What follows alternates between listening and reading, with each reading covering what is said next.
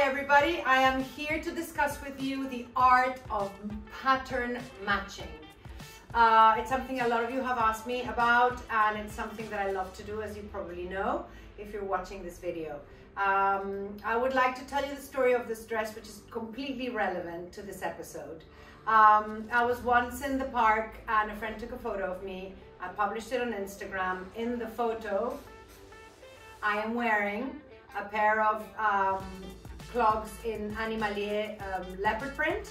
I'm wearing those socks uh, with a tree on it, on, on them. And I'm wearing a pair of camouflage pants.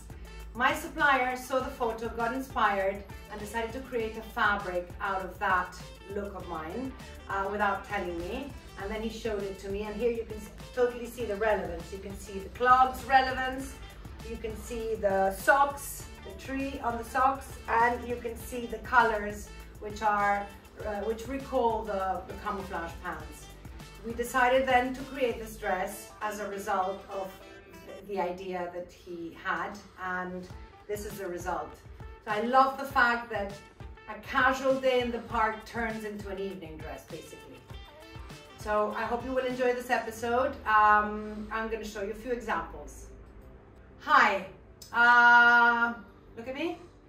OTT factor, I know, sometimes it can be interpreted that way. In this case, it is particularly so. The reason being is I've added a color that apparently doesn't really have anything to do with the pants. And also I have these very garish um, gold boots. The reason why I put this stuff together is the orange on the boot picks up on the um, rusty orange of the trouser. That is my connection. Plus, you know that I love a gold boot. I love a metallic shoe. I think it always gives some pizzazz to the outfit. The rust of the trouser, again, echoes the color of the collar. Okay, so the off color that apparently has nothing to do with the rest is actually this lilac-y purple. Again, the off-white of the check picks up on the off-white of the pant. That's what pulls it all in together. I often uh, think that a block color can diminish the OTT effect and for that matter I have worn a very simple round neck jumper which obviously picks up on the trouser colors and then is cut off by this so it's up to you already you can see if I walk around like that it's less a slap in your face kind of look. Do you get it? Do you like it? So here I am. I would say a typical Milanese lady, and I'd love to see your faces when I'm saying that. I know, again, you know, but this is about pattern, guys, don't forget. So there's a lot going on here. However, I have my proper bag, as beautiful as it may be, proper it is. I have a very proper, legit shirt. You could wear this the office. And of course then I matched it and paired it with prints. So we have flora and fauna, which is a trick I always like to play. I've, uh, I've worked with um, yellow here is the common denominator, obviously. Uh, the green is a new um, is a new color in the in the whole scenario. And then again, um, on top of the flora and fauna concept, which is part of my mental storytelling, there's always some storytelling within my aesthetical styling choices. Uh, it's, it's very uh, relevant in terms of, uh, of colors. So I think this looks works um, really well. If you close your coat, you're slightly more composed, okay? However, I'm gonna show you an alternative uh, pattern if you want to rock and roll it more, if you want to get take away the kind of well put together uh, situation, you just wear an over maxi jumper, which again picks up on the colors of the pants. It creates a completely different scenario, a completely different situation, a completely different woman. Okay, so this is this this is the would-be scenario. Okay, I decide I want to wear the skirt so I go into my um, jumpers, in my, into my tops, and I start looking for colors that are relevant. In this case, I could have worn a blue shirt, a turquoise shirt, a fuchsia shirt, a purple, you can see.